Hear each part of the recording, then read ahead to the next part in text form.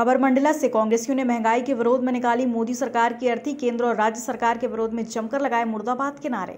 मंडला ज़िले के बिछिया विधानसभा ब्लॉक मुख्यालय में गांधी गेट के सामने कांग्रेसियों द्वारा डीजल, पेट्रोल की मूल्य वृद्धि और महँगाई के विरोध में केंद्र और राज्य सरकार की अर्थी निकालकर विरोध प्रदर्शन किया। युवा कांग्रेस और ब्लॉक कांग्रेस के नेताओं द्वारा गांधी गेट से वेयर हाउस तक मोटरसाइकिल की अर्थी निकालने के बाद गांधी गेट में मोटरसाइकिल में आग लगाकर केंद्र और राज्य सरकार के खिलाफ जमकर नारेबाजी की। कांग्रेसियों ने इस अवसर पर तहसीलदार को ज्ञापन सौंपा। विषय विधायक नारायण सिंह पट्टा द्वारा केंद्र और राज्य सरकार को जनता विरोधी बताकर डीजल, पेट्रोल मूल्य वृद्धि और महँगाई के लिए जिम्मेदार बताया। विधायक ने कहा, बीजेपी के नेता प्रशासन को आगे करके कांग्रेस के नेताओं पर एफआईआर दर्ज कर रही है। कार्यक्रम की परमिशन नहीं दी जा रही। विधायक ने मंच के माध्यम से सीधे चेतावनी देकर कहा, नेताओं पर मुकदमा वापस लेकर मेरे ऊपर एफआईआर दर्ज करें। यदि ऐसा नहीं होता तो थाने में धरना दिया जाएगा और कांग्रेस का एक एक कार्यकर्ता थाने में नज़र आएगा। कार्यक्रम के दौरान विधायक ने स्थानीय मुद्दों पर ज़ोर देते हुए भाजपा सरकार को जमकर कोसा। कार्यक्रम के दौरान कार्यक्रम में जिला कांग्रेस के अध्यक्ष राकेश तिवारी युवा कांग्रेस के जिला अध्यक्ष आशीष जैन ब्लॉक अध्यक्ष प्रदीप गोस्वामी और विधानसभा अध्यक्ष विकास साहू के साथ युवा कांग्रेस के पदाधिकारी और कार्यकर्ता मौजूद रहे। दिया है। उस वोट का उपयोग करके इनको आप ऐसा चोट दो कि आपके घर के तरफ़ मुड़ के देखें तो इनके आंखी भर्रा जाएँ, आंखी मुंद जाएँ।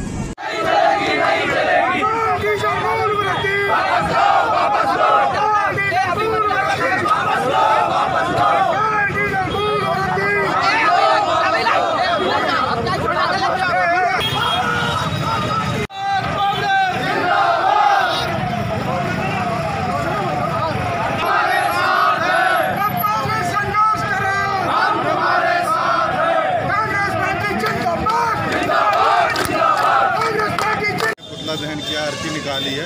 क्या संदेश देना चाहते हैं आप इस प्रदर्शन के माध्यम से? सबसे पहले तो आपको धन्यवाद कि आपके चैनल ने पूछने का साहस किया। और पुतला नहीं बल्कि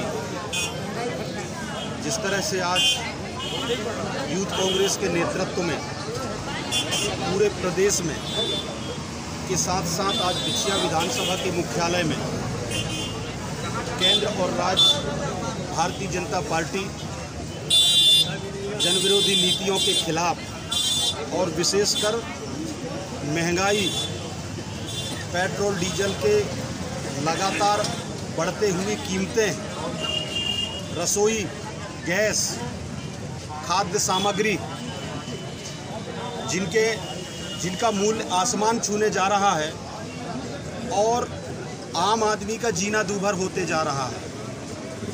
लेकिन ये केंद्र में बैठी नरेंद्र मोदी की सरकार और प्रदेश में लोकतंत्र की हत्या करके पीछे दरवाज़ा से सत्ता हासिल की हुई शिवराज सिंह चौहान की सरकार।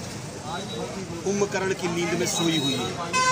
हमारा यूथ कांग्रेस जगाने का काम कर रही है। और कांग्रेस पार्टी हमेशा जनहित की लड़ाई लड़ती है और लड़ती रहेगी। जब तक आम जन को ये भाजपा की सरकार राहत नहीं देगी, किसानों की सुरक्षा, माताओं, बहनों की सुरक्षा नहीं होगा, तब तक इस प्रदेश और देश की जनता के साथ हमारा कांग्रेस पार्टी, यूथ कांग्रेस, महिला कांग्रेस एनएसवाई सेवा दल हर मोर्चे पर खड़ा रहेगा। मैं भारतीय जनता पार्टी, जब जब कोई आंदोलन होता है तो इनके पास जनहितैषी जवाब नहीं होते। बजाय ये पुलिस को सामने करता है। और मैं साफ़ साफ़ ये बात कह देना चाहता हूँ कि जो गुछिया पुलिस ने और मंडला पुलिस ने